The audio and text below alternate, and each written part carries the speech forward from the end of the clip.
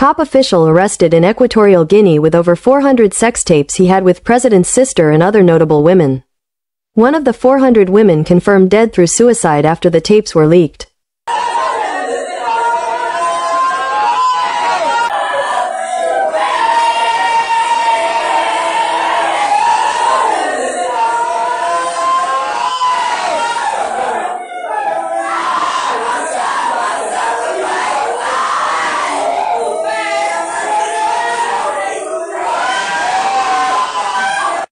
A husband confronts his wife after seeing her video and she got the shock of her life. En fait, bébé, c'est comment tu voyais ça me dit maintenant Non, je suis venu pour une urgence là. J'ai même seulement forcé pour avoir une place dans l'avion. Nous sommes mariés depuis combien d'années à Kamba Ok. 6 ans. 6 ans. On a combien d'enfants Ah. Je te dois quelque chose. Ah, comment tu me poses les... Ouais, je te dois quelque chose. Non. Je t'ai épousé, non. Je t'ai doté, non. Oui. Tout ton village m'a dit, même le quartier, non. C'est toi qui dirige Tams Baby à mort. C'est toi qui dirige Lisette Fashion, Jeanne Fashion, Exotic Irishi. Tu as combien de voitures au parking? Ouais, dis, il y a quoi? Ok. C'est un problème. Hum, prends. Arrête Tiens, non? Enlève bien tes lunettes avant de voir la vidéo là. Retire, ne fais pas le semblant avec moi. Regarde la vidéo. Tu te vois, non? Hein? Dit que je suis comme ça à Dubaï en plein centre de travail, en train de vouloir crâner. Mes amis me disent que viens voir la liste des vidéos de Balthazar à. Je ne peux pas imaginer que tu connais ce gars, même dans mes rêves les plus fous.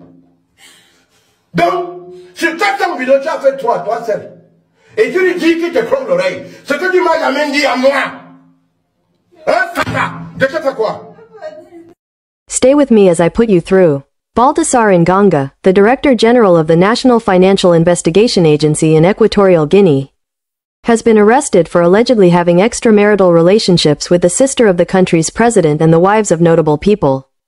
It was learnt that the illicit affairs were seen in sex tapes recovered from his house in the course of a fraud investigation against the 54-year-old economist which resulted in the search of his house and office on impromptu notice. The building was searched by anti-graft officials who came across several CDs that later revealed his sexcapades with different married women.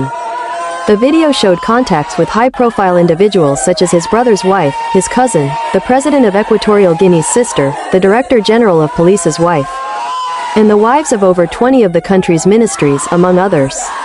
The film, located in his office, was alleged to have been recorded with his permission and has since been published online, sparking a media frenzy. According to a report by the local media outlet Ahora EG, Engonga has been involved in a sexual scandal unmatched in Equatorial Guinea's history since last October.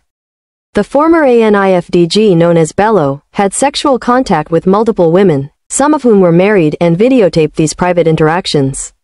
The report read, The most striking thing is that some scenes took place in his work office, including moments in which he is seen sleeping with a woman next to the national flag. Based on this sexual scandal, the executive has stated that the measure is a direct response to the acts that have affected the image of the country.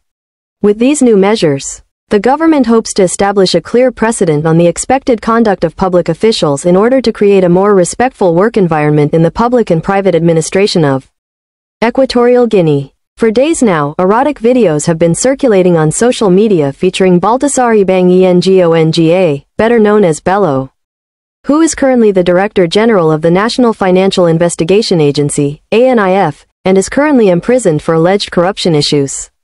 This man has a beautiful wife and six children yet he went around sleeping with over 400 women which no one knows his reason for doing such and recording the sex videos on top of that. The incident has caused so many broken homes in Equatorial Guinea and one of the women has committed suicide. We shall follow the story and bring you any updates. Thank you very much for staying with me and please do not forget to subscribe to the channel and follow us wherever you watch our videos. Stay blessed.